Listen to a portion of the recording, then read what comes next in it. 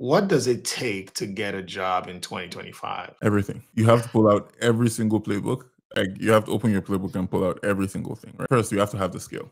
It's a saturated market in that there are a lot of people who are looking for jobs and employers have their pick, right? Because of all these layoffs. And so you're not just competing with people who are either breaking in new, right? You're competing with people who may have some experience in big tech as well, but they either got laid off or yeah, they mostly got laid off. So that's now your competition. Right? So whatever skill that you think is needed for that role, whatever skill that is listed in that space, it's something that you need to have experience in to even be competitive in the role. That's the first part, right? Second part is the job applications, right? And networking. A company posts a job, there are hundreds, if not thousands of applications almost immediately. How do you stand out? That's the question. Right? That should be what, what you ask yourself. If your resume is good, it'll be kind of like sieved across to one side with again hundreds of, of resumes. How do you then pop out of that whole stack right?